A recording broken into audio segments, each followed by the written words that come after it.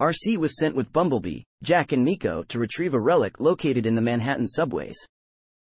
The two Autobots found Knockout with the artifact, but as Arcee tried to seize it, the Decepticon stunned her with his prod.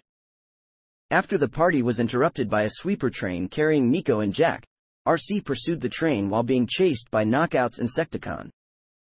She managed to both save the train from crashing and get rid of the Insecticon by getting it to touch a third rail.